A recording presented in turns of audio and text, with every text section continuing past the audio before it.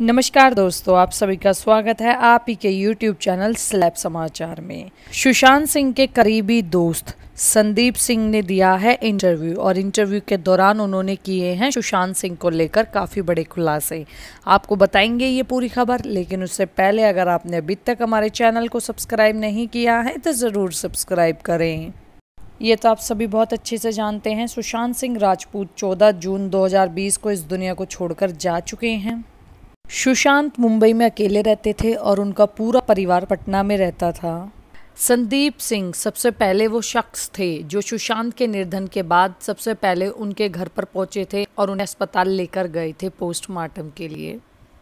जबकि सुशांत के परिवार वाले अस्पताल नहीं पहुँचे थे, वो सीधे सुशांत सिंह के अंतिम संस्कार में शामिल हुए थे।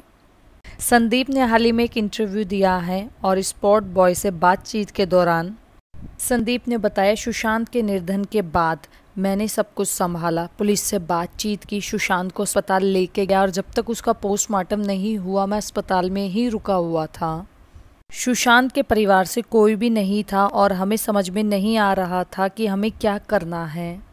मैंने अपने दोस्त महेश को बहुत ज़्यादा टूटते हुए देखा। वो समय था जब मुझे लगा कि मुझे खुद पर नियंत्रण रखना होगा और ये सारी प्रक्रिया पूरी करनी होगी।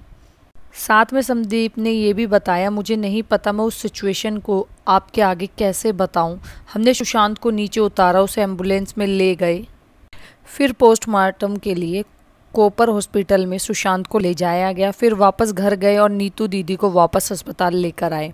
उस स्टेचर पर देखना और फिर उन सभी कागजों पर अपने साइन करना। फिर बाद में मीडिया से बात करना।